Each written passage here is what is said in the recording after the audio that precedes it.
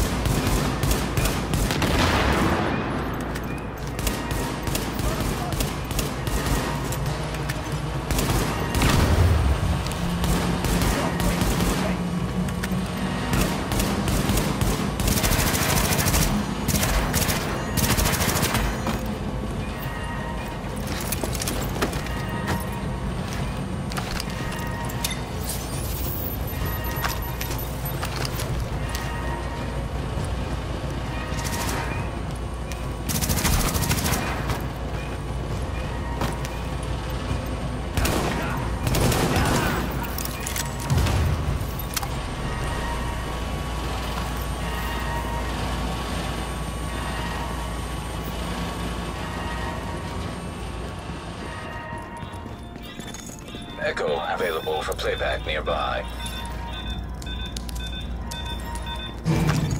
Power generator stabilized. Well, nothing's exploded, and that siren stopped, so looks like we're good. I got an engineering team already mobile. They can finish up at the plan. Nothing left for you to do, so I guess you can roll out.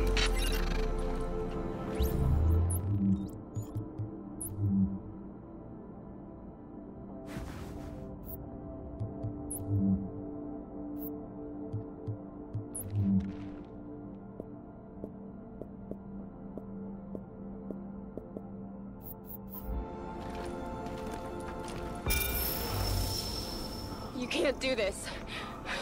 You'll take out the power for the whole city. Only gonna do it if we have to. If our place in the city is not respected. Cause if we don't get a place, then my people will make sure nobody's got a place. And until then, we gonna live. This right here is the I'm money headed shot. back to Lex. What he's getting at is that we've for me. intercepted some audio from one of our Your call. esteemed colleagues. He's taking advantage of the situation. We've got to hunt him down.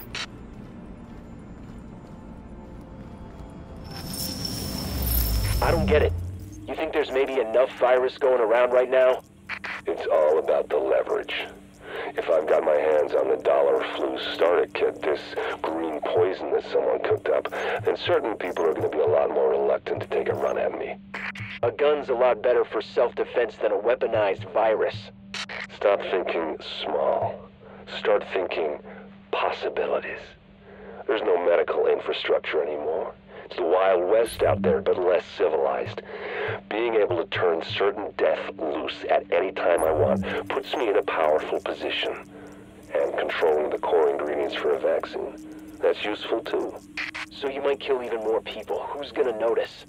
It's not the killing, it's the threat of being able to kill. And giving them the hope they might be saved. The way things are breaking down out there, all these different groups carving their own territories out of what used to be civilization.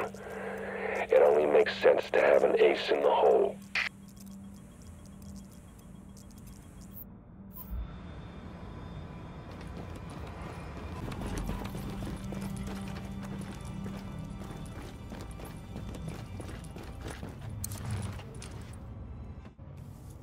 You did real good hooking stuff up. It almost gives a guy like me hope again. Well, that's a goddamn miracle. Said almost, Agent Lau. Guess what you found while you were out there is keeping me up at night. Looks like I ain't paranoid after all. I'm just right.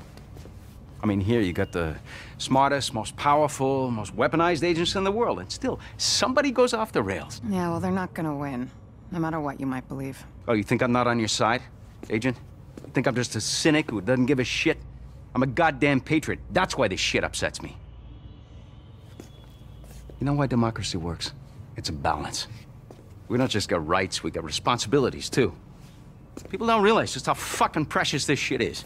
Jury duty, voting. Oh, we can all get away from you in a second. You don't do your bit. Nobody gets a free lunch. Hell, this country is set up so that nobody can go run things by themselves. Balance of powers. And then some asshole decides to create the division. It breaks everything. All of the power, none of the accountability. It's the opposite of everything this country stands for. Of course it didn't work. So now, what do we got left? Good intentions. Hey, and us. All of us. And I've got a hell of a lot more than good intentions. We're gonna do this. And we're gonna do it the right way. I want that to be true, Agent. I do. But I don't see what makes you different from the rest. I just hope for all our sakes that you are.